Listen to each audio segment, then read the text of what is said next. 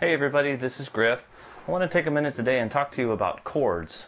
Um, in the playing through the blues system, I don't really talk too much about chords. Um, there are some rhythm examples uh, that go along with each of the solo examples, but for the most part, I expect that uh, that most people are going to have a pretty good handle on chords. So what I wanted to do is to create kind of a blues chord primer, I guess. So uh, think of this as Blues Chords 101.